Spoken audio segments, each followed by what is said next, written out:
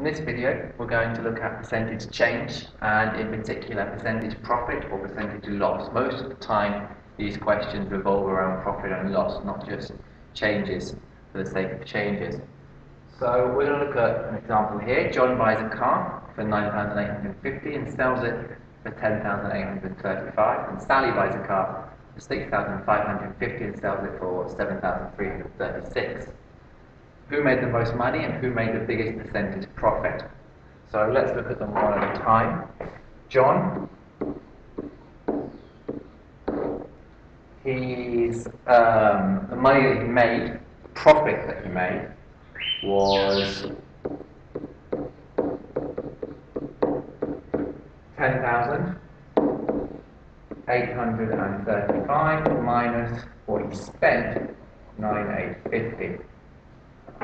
That's what he sold it for minus what he spent. So that's the profit he makes. And that gives us a profit of 985. So he made $985.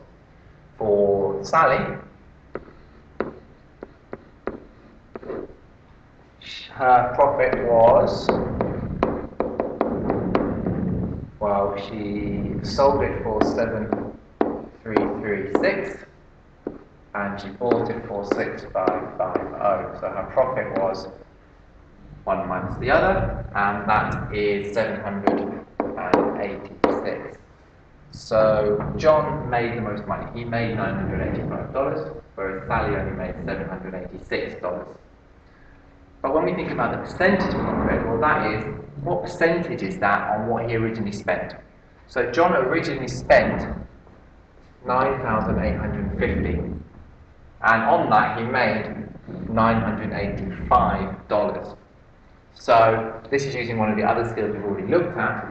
985 as a percentage of the original amount spent, and we times that by 100 to work it out as a percentage. So 985 as a percentage of the original amount spent.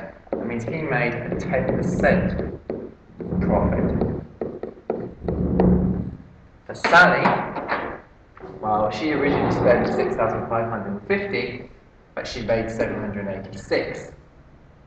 So her percentage profit was the 786 that she made over how much she originally spent and times by 100 because we wanted as a percentage. And that means that her percentage profit was 12%. What that means is that although John made more money in total, as a percentage of what they initially spent, Sally made a better percentage profit because she made 12% profit on what she spent. That is, if they'd spent the same amount of money to start with, Sally would have made more money in total. And the way we did this to work out the percentage change, we did the actual change that was the first step, the 985 or the 786.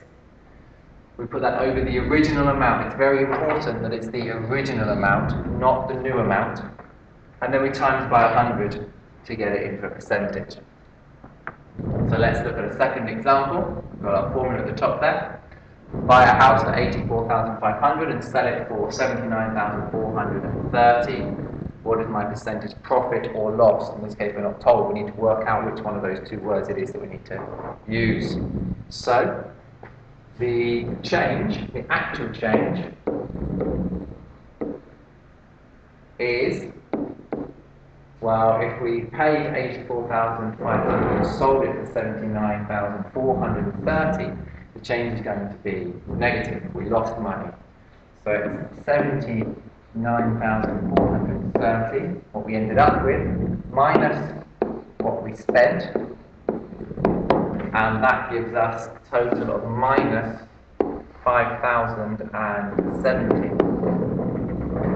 So the change is minus 5,070. That means I lost $5,070.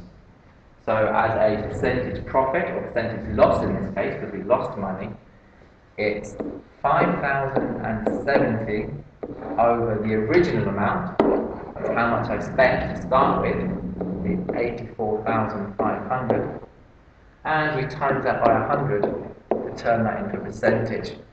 which gives us an answer of 6. Okay? Because of this negative sign here, the negative sign here, or because we paid more than we sold it for, it's a loss. So our answer is a 6% loss. Whenever you're dealing with percentage change or profit and loss questions, you must specify whether that's a 6% increase or a 6% profit or a 6% decrease or a 6%